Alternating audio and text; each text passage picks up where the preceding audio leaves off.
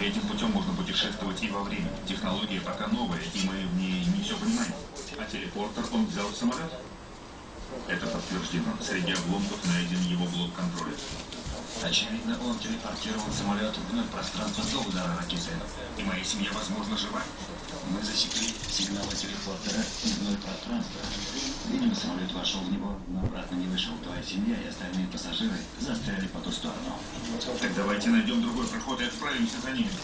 В этом и проблема телепортер. Имел два блока контроля и оба украдены доктором Уинтером.